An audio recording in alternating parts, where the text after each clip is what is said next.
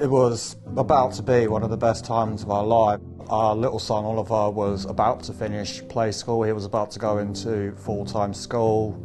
That meant Gemma could finally get a job and we could start actually having a decent life because ever since Lily was born, Gemma had become a full-time mum and all our lives were literally about to start and it just all got snuffed out in a night. Well, I've been working at M&S for coming up to 11 years and I've been riding to work, doing it in the wind, the rain, the traffic, any sort of condition you could think of.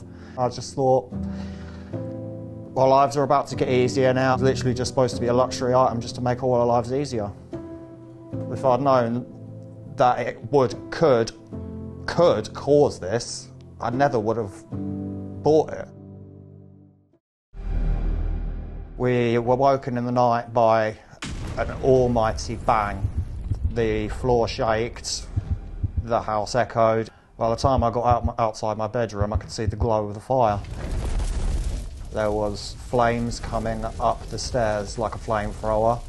I've never seen anything like it. I was terrified for my children.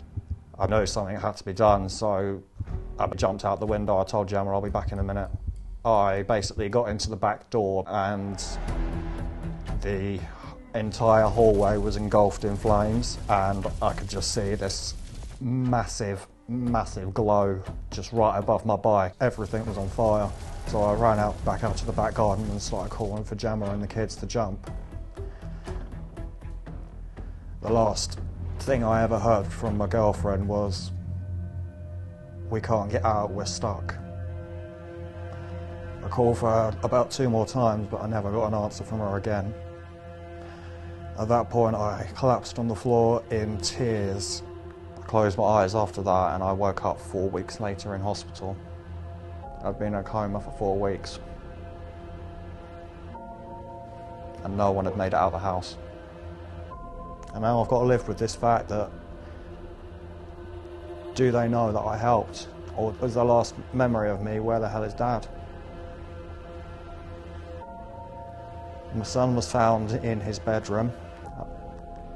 My girlfriend was found in the doorway of my bedroom. And my daughter was found under the bed with my dogs. But I can guarantee that in the next couple of years, everyone will know someone who had an accident with an e-bike concerned in a fire. And we are trusting the government that they are safe, but they are not. They need to be regulated, they need to be checked change the rules to save someone's life. My life has been ruined, but I can save someone else's.